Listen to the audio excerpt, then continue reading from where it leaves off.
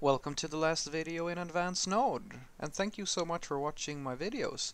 So, what's next?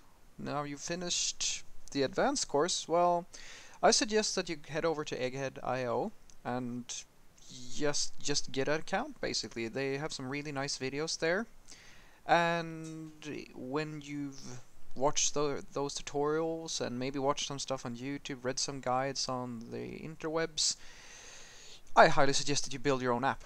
That's why we're all here, right? We want to build stuff. So what I suggest is that you use what you've learned and you create some web pages, like some web applications. Like uh, you can do anything. You can create your own blog, a forum, something like that. That should be enough for you to get started and get a feel for how these technologies work and get some really need, much needed practice in before you start advancing to the next level.